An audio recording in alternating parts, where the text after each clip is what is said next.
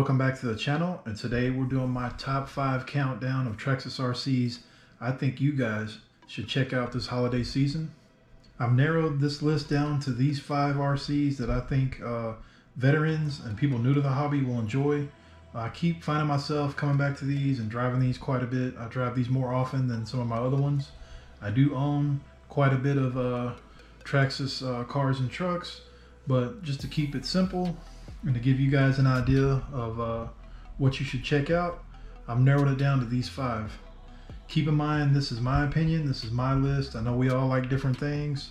Uh, this is what I came up with, I, but I do think there is something for everybody on this list, uh, no matter if you're new or, like I said, a veteran of the hobby.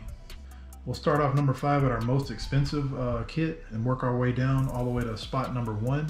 First on the list is number five, and this is the Traxxas X-Maxx. It's number five on the list because it's the most expensive. The Traxxas X-Maxx, the kit itself, you know, the truck and the radio, is going to cost you around a thousand dollars. Um, you will need two 4S batteries and a charger to uh, run this truck. As you can see, it's pretty big. It has a lot of power. I really enjoy driving this truck. It's a head turner for sure.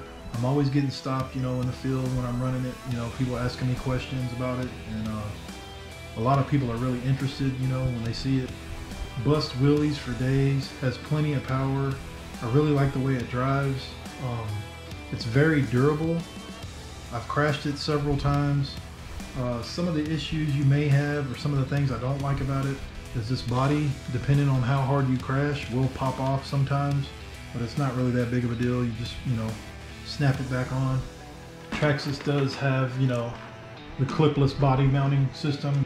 You just unlatch here from the back of the truck and raise it up, slide it out. The body comes right off.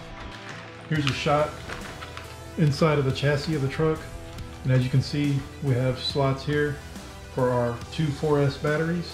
We have our Velineon brushless uh, motor and ESC combo here, capable of 8S we have a heat sink and fan here on the motor. You got your wheelie bar, your aluminum uh, shocks. It's really fun to drive. I really enjoy it. Um, it can be heavy, so carrying it around in the field once you know the batteries run out can be an issue. That's one small complaint, but I mean it's it is what it is. It's a monster truck and it's the biggest in its class that Traxxas makes as of right now. Um, I think this is one of Traxxas's crowning achievements, honestly. There's nothing like the X-Maxx. There's nothing like driving the X-Maxx and the adrenaline rush you get when you're uh, driving this truck. It is a little bit on the pricey side, but I'm telling you, it's worth it. You get what you pay for. So this is my pick for the number five spot. It is the Traxxas X-Maxx. Go out and get you one.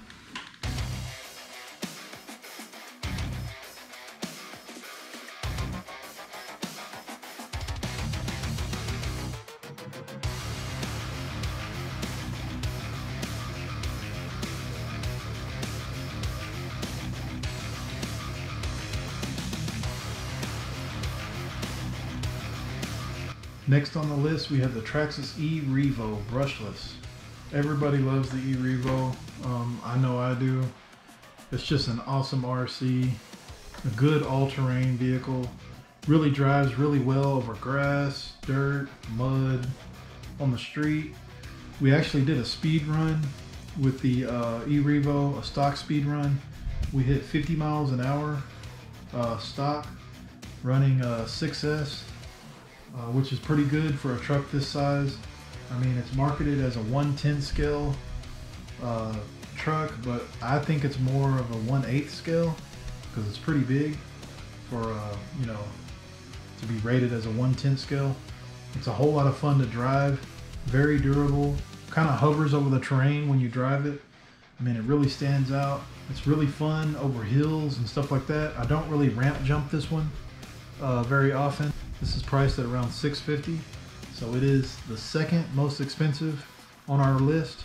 Uh, but again, it's worth every penny. Um, the E-Revo is a, is a really unique RC, really handles well. You won't get much traction rolling out of this one. The tires do balloon out uh, quite a bit. Um, That's not really an issue. Your batteries, they do go here on the side, but you kind of open this up and they go here in this compartment. This is a 6S capable RC. Um, your ESC, your motor here. You have two servos here in the front. Um, most people upgrade the servos after a while, but the e-Revo is just a really fun truck to drive. Really unique truck in the way it drives and the way it's built. So the number four spot goes to the Traxxas e-Revo.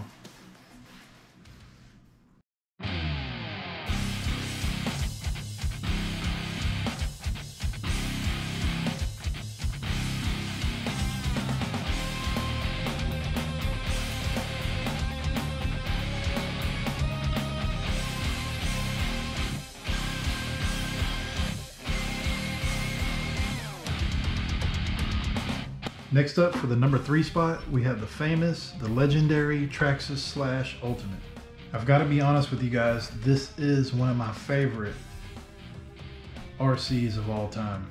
Now, there's a lot of, you know, reasons why. This was one of my most uh, expensive RCs. This is when I made that step up to the next level back in the day when I got this truck. Um, so it has a lot of sentimental uh, value for me and this is what really got me started in the hobby and got me really serious into it. Uh, driving the Slash Ultimate, there's really nothing like it. I mean, this thing drives and handles flawlessly, guys. This thing is a legend, I'm telling you. When people think of Traxxas as a company, automatically the Slash comes to mind. One of Traxxas' staples. I mean, this is something that will go on for years to come. I really don't know how they could improve this platform. I mean, the Slash Ultimate guys has it all out of the box. I mean, it's four wheel drive. You've got telemetry throughout. You've got front and rear sway bars. You've got aluminum parts on all four corners. You have uh, GTR shocks. You have racing wheels and tires. I mean, it really has everything you need out of the box to get you up and running, you know, and the handling on this thing is just superb. I mean, it drives straight as an arrow. It leans in the turns. They're very, very rarely will it traction roll. Um, it runs good off-road, on-road, in the dirt, in the gravel, on the street. I mean, it's just an all-around awesome RC. I really love this one. This one is, as far as handling goes, probably one of my most favorite RCs of all time. I'm gonna be, like I said, I'm just gonna be honest with you. There's nothing like driving a Slash Ultimate.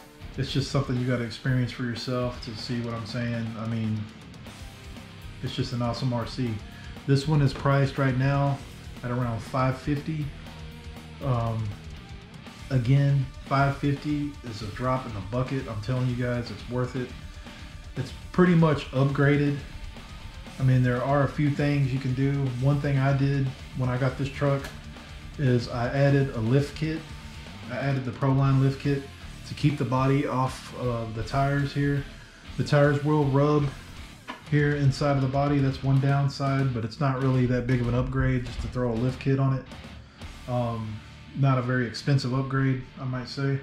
The only negative, and it's not really the fault of the Slash, it's, it's pretty inherent with all short course trucks is the slash will catch wind. All short course trucks are like that. They catch wind, especially if you're ramp jumping them. Uh, here's a quick shot of the inside of the chassis. It's kind of dirty in there. We are running it uh, earlier today. Again, you have your front and rear sway bars here. Your uh, motor, ESC, receiver, your aluminum center drive shaft. Again, you have aluminum parts front and rear on all four corners, your GTR adjustable shocks, your racing wheels and tires, just an all around awesome RC. I really like this one. This is my number three spot, uh, the Traxxas Slash Ultimate.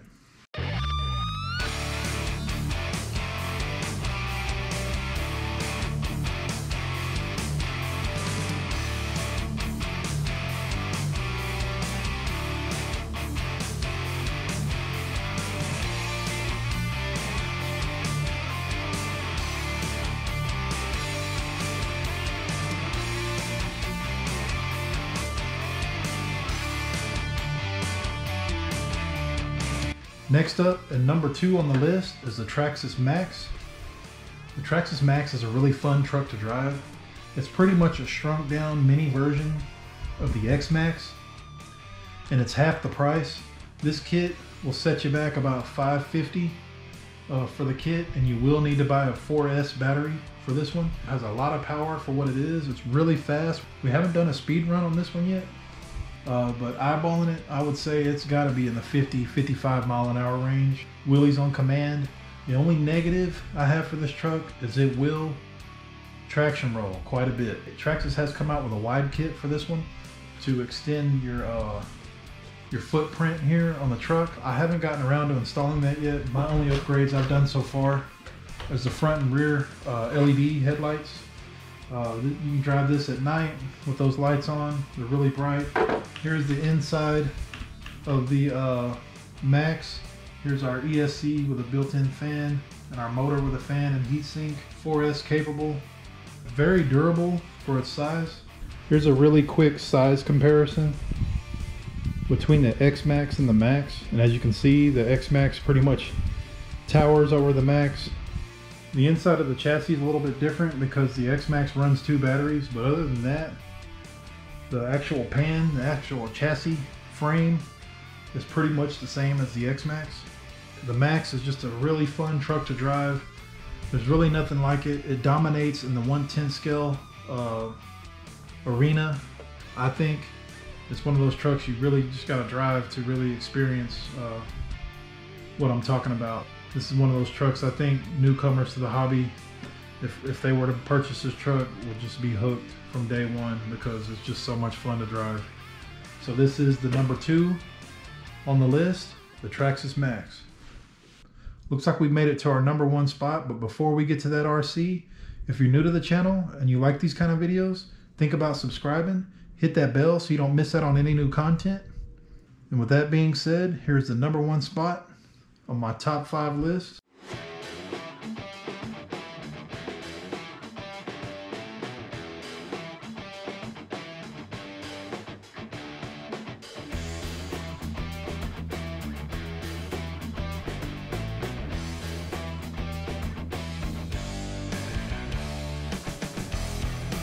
the Traxxas Bandit VXL. This is my favorite two-wheel drive Traxxas RC of all time. The Bandit VXL, there's nothing like it guys. This thing will go 55 miles an hour, stock, on two wheels. I'm telling you, wheelies all the way down the street. I really like the way this thing drives. Uh, the slender body is really aerodynamic so we don't catch any wind. It wheelies for days, I'm telling you. It can go off-road and on-road. I mainly drive mine on-road because I just, I'm addicted to the wheelies. I'm telling you guys, there's just nothing like it. It's really, really fast out of the box. I haven't put in the speed pinion yet, but like I said, we did do some speed runs on this one. I've got quite a few videos here on the channel of the Bandit VXL and all of these RCs that have been mentioned here in the top five list. So go check those out. But this one here is just an awesome RC. It's the cheapest on the list, which is why it's number one.